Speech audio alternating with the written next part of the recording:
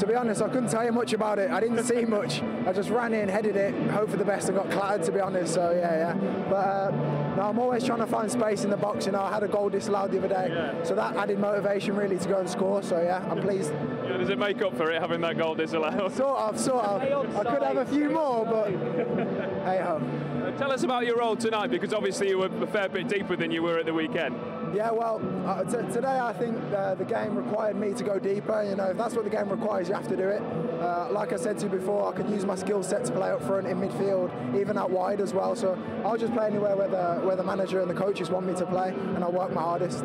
Mike Dodds, he's someone that you've known for such a long time from Birmingham as well. He's making a real impression, isn't he? Two wins out of two.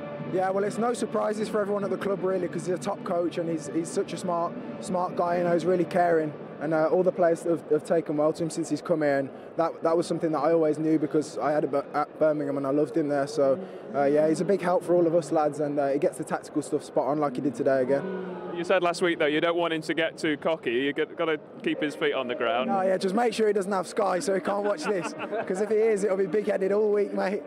Yeah.